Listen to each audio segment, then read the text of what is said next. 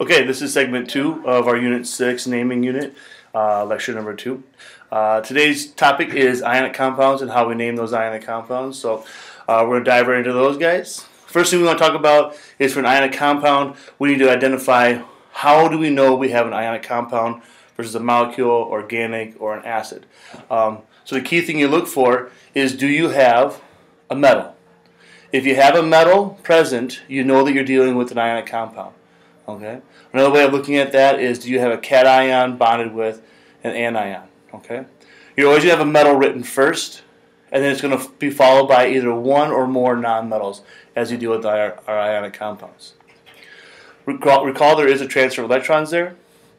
Now, because we are transferring electrons from one atom to the next to create ions, uh, unlike molecules where we have multiple different ratios that we can perform, for ionic compounds, the ratio always has to be the same. So when I bond sodium with chlorine, I have to have a 1 to 1 ratio. When I bond magnesium to chlorine, it's a 1 to 2 ratio. So for each one of our different compounds, we have to have these different ratios. Now because of that, um, because we only have one possible ratio, there's no reason to use a prefix. So if, when I say sodium chloride, for example,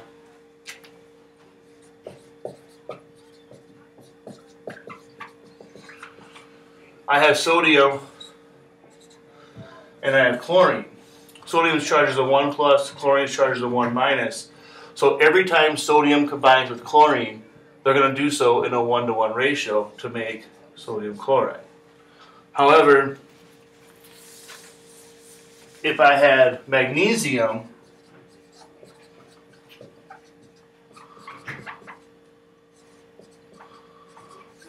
chloride Magnesium is a 2 plus, chlorine is still a 1 minus.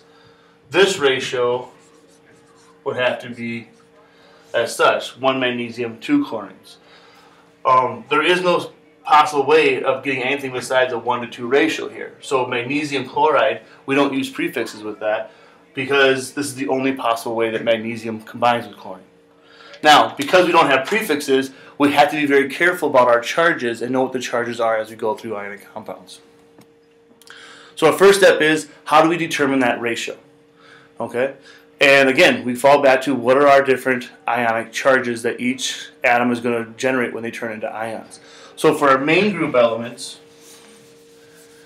if we recall, our main groups are groups 1 and 2, and then we skip 3 through 12, and then we get 13, 14, 15, 16, and 17. So we know that our group 1 is always a 1 plus. Our group 2 is always a 2 plus. We skip these. Group 13, really the only element we know in group 13 is aluminum, and that's a 3 plus. Everything else we don't know. 14, we never really talked about in terms of charges, so we ignore that one. 15 is a 3 minus, 16 is a 3 plus, oh sorry, 16 is a 2 plus, 2 minus, 16 is a 2 minus, and 17 is a 1 minus. So these are the standardized charges that we set up in previous units. Um, just recall those, they should be on your periodic tables. Okay. Now, for the groups that we skipped, in the middle, so groups 3 through 12, also known as our transition metals,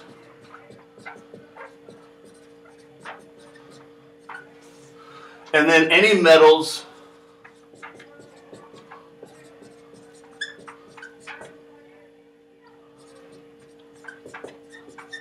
under the stair step line, we have to deal with those a little bit differently because we don't know their charges. So when we work with these metals, the transition metals and metals under the stair step, um, by writing out the compound, we wouldn't know their charge. So instead, we have to use something in the naming system to identify that charge. Okay? So as you're working with these, things to remember. Identify the charge on your anions and your cations. Groups 1 and 2 will be metals. Groups 15, 16, 17 will be nonmetals. And then there are three that we had to memorize in our uh, system. Aluminum, zinc, and silver. Um, zinc and silver are part of our transition metals. Aluminum is that one that's sitting under that stair step line. Um, we to remember that their charge for aluminum is always a 3 plus, zinc is always a 2 plus, and silver is always a 1 plus. If we remember that, we can use that in our naming system. Okay.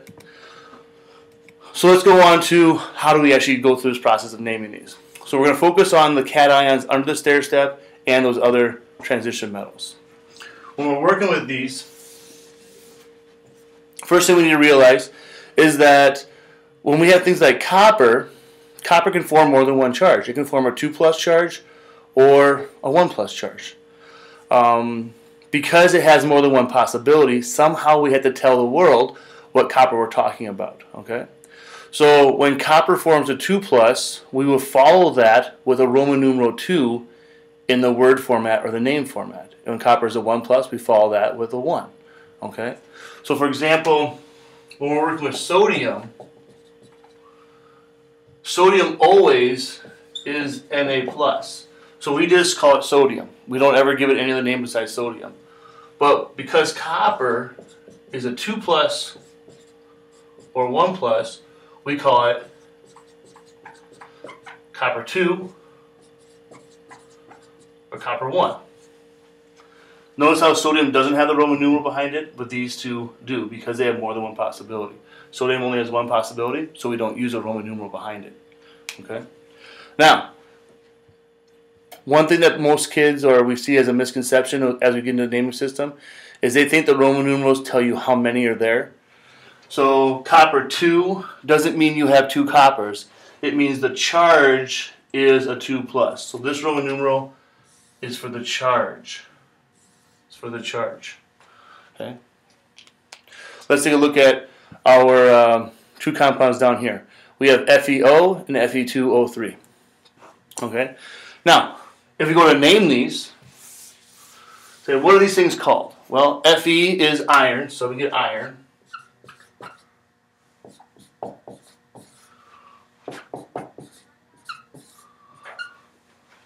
So we get iron. And then oxygen, we call that oxide. We change that ending from oxygen to oxide. So we go from iron, oxide. Okay? Here's a problem. If this is iron oxide, and this is iron oxide, how do we know which one we're working with? And we really don't. Um, so we had to have a better system in place to identify which one is which. And it actually makes a pretty big difference because this stuff here is a protectant. Okay? So iron oxide like this actually protects metal from rusting. This is rust. So we go from this being something that stops rust from happening to the rust itself, just by the ratio that we have. So we had to be able to name that properly so when we talk about iron oxide, we know which one we're dealing with. Okay? So just saying iron oxide is not enough. A better way of doing that is use that Roman numeral with your word of the iron. So for FeO, we would call it iron 2 oxide because the charge on the iron would be a 2. Fe2O3, we call it iron 3 oxide. Now you might be asking, well, how do I know what the charge is? Because it doesn't tell me the charge in the formula.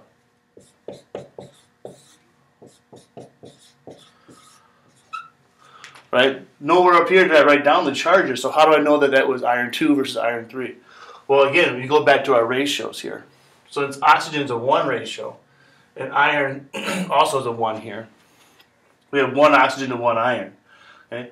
Again, we don't know iron's charge, but we do know oxygen's charge. Oxygen's charge is a 2 minus. And if you have a 2 minus, and it takes one of these to balance out one of these, 2 minus, we have one of those, so the total negative charge is a negative 2, which means the total positive charge has to be a plus 2. Well, the total positive charge has to be distributed over just one iron, so the iron has to be a 2 plus. So now that we know this, we can say that this is iron 2 oxide. Do the same thing down here. the oxygen still is a 2 minus, but now it takes three of those oxygens to balance out two irons. So we have a negative 2 times 3. We have a total negative charge of negative 6, which means we need a total positive charge of plus 6 because this compound has to be neutral. They have to equal 0 if you add them together. So if I have a total positive charge of 6 and it takes two irons to get that, each iron has to contribute a 3 plus to that. So it's a 3 times 2 is 6, 2 times 3 is 6. So we have a plus 3, we have a minus 2. In this case, now that we know this is a plus 3, we call this iron 3 oxide. Okay. In the naming system, notice how we are not capitalizing anything. These are not proper nouns, so we do not capitalize those. Okay? Now, don't forget, for aluminum, zinc, and silver, aluminum is always a 3 plus, zinc is always a 2 plus, and silver is always a 1 plus. So we will not be using Roman numerals with those three metals. Okay? As we go through the process of naming the these compounds, we call them binary ionic because we're only dealing with two different atoms at any one time. So, as we're working through it, let's go through the process. First thing, naming the cation or naming the metal. When we name when we name the metal or we name the cation, you just use the original word of the atom for the cation. So Na plus is sodium. Fe2 plus is iron 2. Okay, we need the 2 here because iron has more than one possible charge. Sodium, you would not put a 1 behind it. It's not allowed. You cannot do it. It's wrong if you do because sodium only forms a 1 plus. So we only use Roman numerals when there's more than one possibility. Aluminum is a 3 plus. We just call it aluminum, only only possibility. Iron again has more than one possibility, so this is a 3 plus. We call it iron 3. Now, for simple anions, your nonmetal, what we do is we change the word um, from chlorine to chloride, from oxygen to oxide. So we basically change our ending. The IDE ending tells us that we have a simple anion. So oxide tells us we have oxygen. Chloride tells us we have chlorine. Okay. Um, usually you drop off the last syllable. Um, the only exceptions to that is that I can recall off the top of my head is oxygen. We don't say oxygen or oxy oxide. It's oxide, and then phosphorus.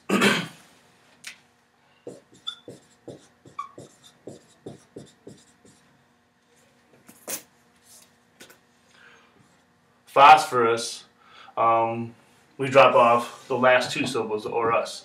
So phosphorus becomes phos okay, on those two things. Now, you put them together and you get the name of the compound. So NaCl would be sodium chloride. FeCl2 would be iron chloride, but now we have to decide which iron are we working with again. So we have iron with chlorine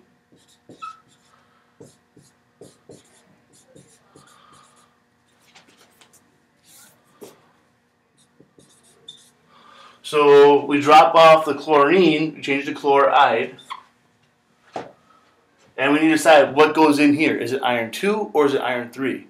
Well, let's take a look. We have, for this example, FeCl2. So it takes two chlorines, each one's a 1 minus, which means your iron has to be a 2 plus to make this a neutral compound. So this is iron 2 chloride. Go down to FeO, same idea. Which iron are we dealing with? Well, FeO is one of each. That's a 2 minus, so this has to be a 2 plus. So that would be iron 2 oxide. And then we go down to this one, and we have aluminum with chlorine. Aluminum doesn't need a Roman numeral, so we just say aluminum chloride as such. Okay? If we go across, and we see we have sodium with oxygen. We would call this sodium oxide. And we have iron, and now our ratio is a 1 to 3, so it's iron 3 chloride. Here we have iron 3 oxide, and then again aluminum oxide. So as you go through the process of naming these, the biggest thing to think of first of all is, do I have an ionic compound? Well, it starts with a metal, so yes you do. Name it by the rules for ionic compounds. Second thing you ask yourself is, does my metal have more than one possible charge? Okay, most metals do. So all the transition metals and all the metals under the stair step line do. The only metals that don't are the group 1, group 2, aluminum, zinc, and silver. So really, most of the time, you're going to be putting these Roman numerals in. If you happen to have a group 1 metal, like sodium, or aluminum that only has a, only has one possible charge, you just omit the Roman numeral. So what I would do is start off by assuming you'll use a Roman numeral, and then if you don't need it, just get rid of it or don't use it. Okay. Now, when working with the formulas for binary ionic compounds, we need to have a neutral compound. So again, we've been doing a couple of these already, but let's just kind of go through the last part of this. For example, if you have magnesium nitride, I say write this formula. Well, magnesium we know is Mg. Nitride was basically nitrogen, but shortened down for the ide ending to indicate a compound. So magnesium nitride. We know the charge on each one of these ions. Magnesium is a 2 plus. Nitrogen or nitride is a 3 minus. These must be neutral. Okay? Right now they're not. It's a 2 to 3 ratio. So what we need to do is use subscripts to change that ratio to give us the right amount of each substance.